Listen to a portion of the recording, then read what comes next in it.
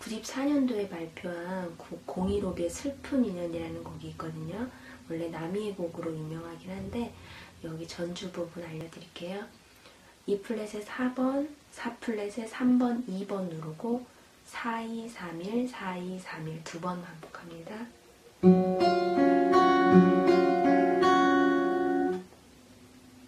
나머지 손은 그대로 두고 중지로 4 플랫의 5번 줄을 누르고 5, 2, 3, 1, 5, 2, 3, 1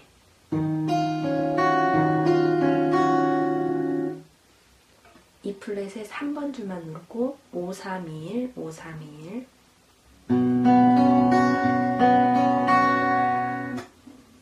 4 플랫의 4번 줄 두 개를 누르고 4, 3, 2, 1, 4, 3, 2, 1 두 번 반복하면 되거든요. 다시.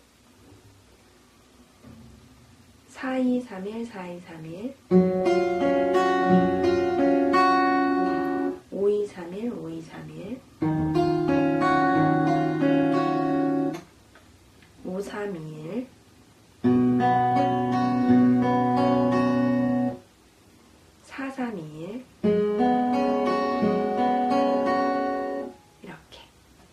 다시 보여드릴게요.